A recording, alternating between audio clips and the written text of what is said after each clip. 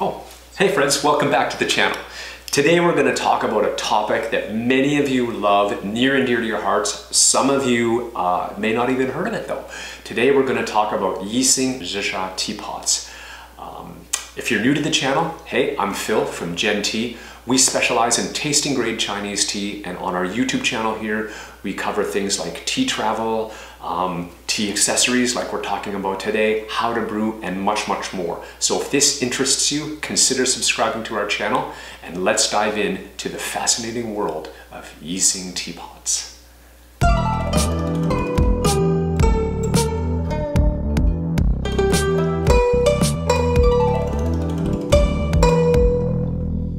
What is a Yixing Zisha teapot? Well, it's one of these guys.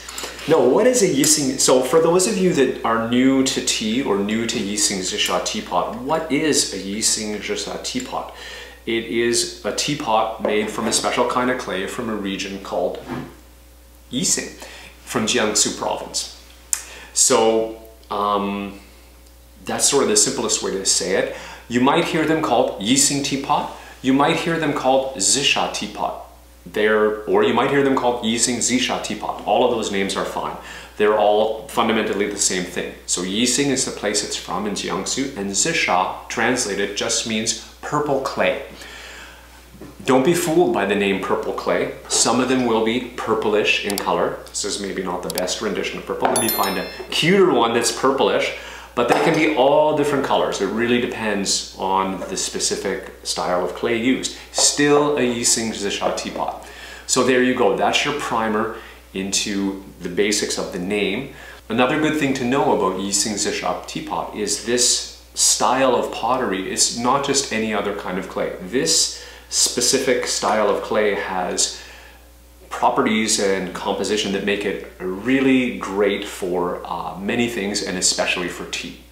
It may surprise some of you to know that the history of Yixing pottery in that region goes back over 7,000 years in history. When I learned that, it frankly blew my mind. Um, that's not to say that these cute little teapots were around at that time, but the history of pottery in that region goes back that far. Pretty amazing.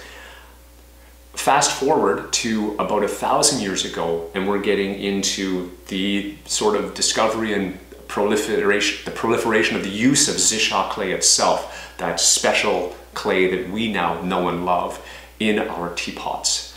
The Ming-Qing era is the time where we get really interested because this is where the concept, the whole concept of a teapot was actually introduced. So um, at that time, the teapots were by when we're talking about Yixing Zisha teapot, they were large, but these were considered small teapots at the time. And this is the time tea began to proliferate around the world and the notion of teapot was exported with the tea. Quick explanation here. Yixing is the birthplace of this uh, teapot shape.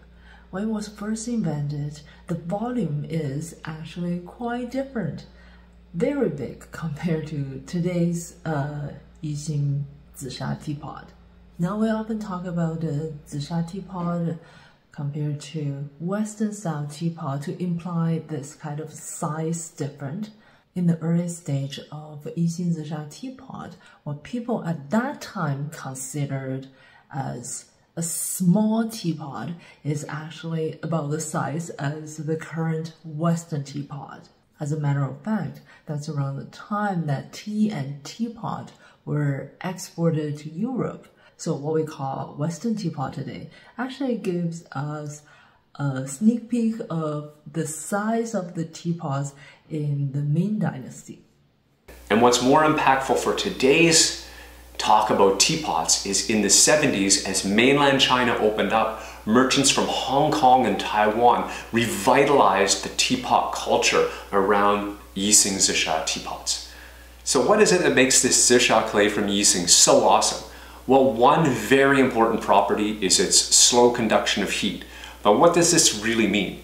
Well, for one, it means that the water stays hot because the teapot isn't pulling the heat out of it. Another great thing for us as tea brewers is it means the teapot doesn't get hot as fast and our fingers don't get burnt as easily. Very important as far as I'm concerned. How many of you can pour boiling water on your hand and not even blink? That is not a skill I want to get better at. Another characteristic of this fascinating clay might not seem very spectacular in today's world where we're surrounded by things like tempered glass and metals coated with fancy ceramic coatings and whatnot. But that is its ability to endure drastic temperature change. Now, if you think about that in the context of how historic these teapots and this style of clay and pottery is, that's actually profoundly useful. And even for ourselves in our modern day times, we've found it useful. For example, we sometimes go out and brew tea, we, we brew tea in the snow, which is a little bit weird and fun. But you know, for social media or whatever, we'll be brewing, uh, we'll have a teapot in the snow and make some pretty pictures. And we've even had people comment and say, aren't you worried the teapot is gonna shatter? And honestly, it never even crossed our mind because this material is so resilient to temperature change. We just, we've never had an issue with it and it never has been an issue. And hopefully it will never be an issue. A key characteristic of the Yixing teapot for us tea lovers is its ability to maintain the flavor of the tea, even during a long steep. As well, its unique dual porous structure actually prolongs the life of brewed tea. What does this mean? Well, it's never happened to me, but if you've ever forgotten the tea in your teapot for a day or two and come back to it thinking your teapot was empty and ready to go and discovered there's tea in it, it's not moldy as quick. Perhaps you might even want to do an experiment. Throw some tea in a gaiwan and some brewed tea, brewed leaf, wet, humid brewed leaf in a gaiwan and in a teapot and let them sit for a few days. The teapot will last longer. It won't get moldy as quickly.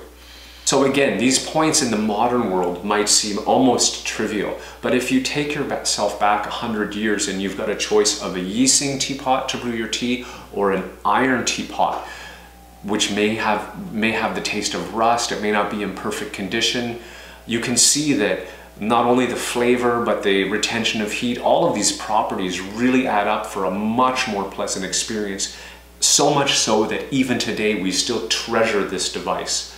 Similar with similar with the prolonged life of the tea. Nowadays we have refrigerators, we have saran wrap, but this the this is almost a magical characteristic if you put yourself in the context of somebody from um, from old times, from long long ago. An interesting and quirky feature of Yixing is its hmm, how do I say this? Young ability, its ability to be younged.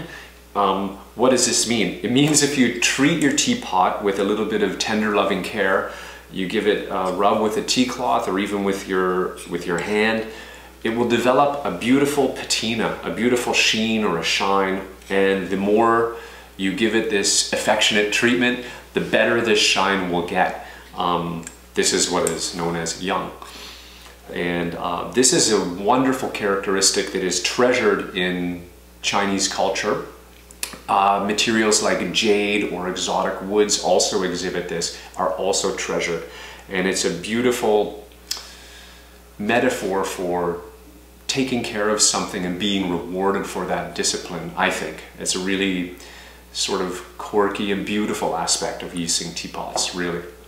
And the more you use your teapot and give it young, the teapot, when you put hot water in it, will pick up some of the gentle flavor of the tea that you brew in that teapot.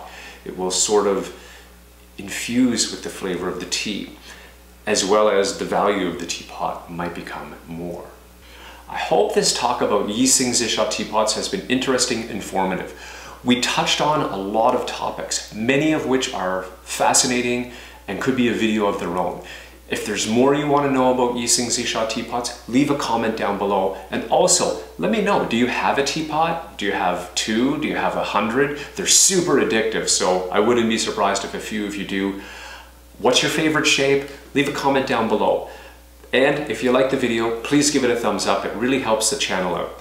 If you're a fan of Chinese tea, please consider subscribing and hit the notification bell so you'll know whenever we make a new video. And until next time, Booyah! yeah, keep steeping.